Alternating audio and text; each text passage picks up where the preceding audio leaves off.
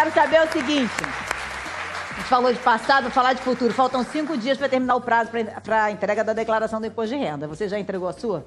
Vocês já entregaram? Já entreguei. Vocês? Você já entregou a sua, Fábio? Sim, já entreguei. Já? Sim, Entreguei sim. também. Também, todo mundo? Olha lá, é porque em cada três brasileiros, um ainda não entregou. É muita gente que falta entregar. Minha a mulher gente... entregou. Hã? E minha mulher. A Matilde entregou, ela que foi. Você, ela...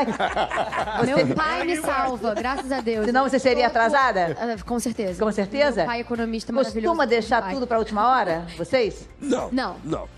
Não? Não. Procura fazer as coisas com antecedência? Com antecedência, procuro. Isso é a palavra certa. Eu procuro fazer com antecedência. Às vezes dá certo. Às, ve- às vezes não. Às vezes tá a Matilde lá pra te salvar, né? Ah, Ai, que Santa Matilde, obrigado. Um beijo. Olha só, a gente foi pra rua perguntar pras pessoas se elas deixam tudo pra última hora, como é que elas resolvem isso. Vamos ver.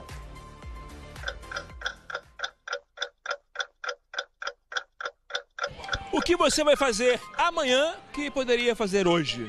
Se a lista de tarefas é grande, bem-vindo ao time de quem faz tudo em cima da hora. Bom, serve de consolo, esse time, aliás, é bem numeroso. Nós, inclusive, deixamos de fazer essa reportagem assim, meio em cima da hora. A Rose é contadora, é empresária, portanto, claro, uma pessoa que planeja tudo com antecedência, certo? Não, As pessoas também estão deixando tudo pra cima da hora. muito.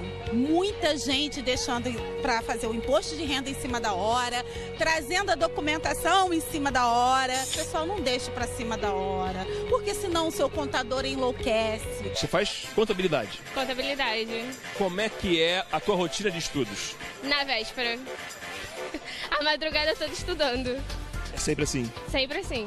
Você escolheu a carreira de contabilidade em cima da hora da inscrição para a prova ou não? Escolheu muito antes?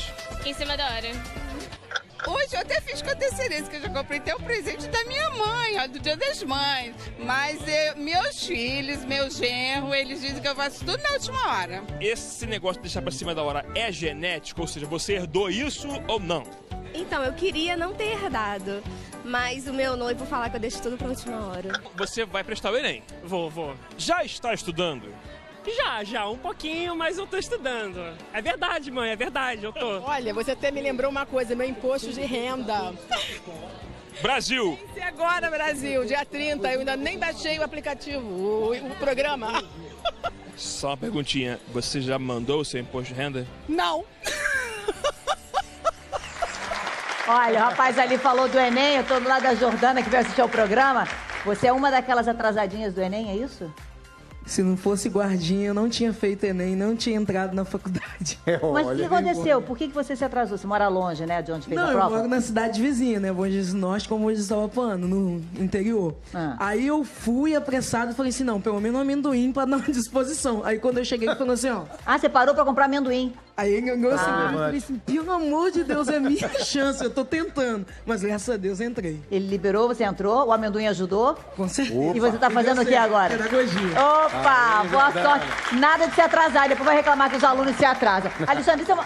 Obrigada, Joana. Isso é uma característica nossa, a gente tem como se livrar disso, porque todo mundo fala assim, ah, brasileiro deixa tudo pra última hora. A gente deixa mesmo? A gente deixa, a gente É. deixa. Tem, um, tem uma coisa que às vezes a gente não presta atenção, é o quanto a gente depois fala disso. Aham. Né? O quanto a gente gosta de falar que fez as coisas em cima da hora.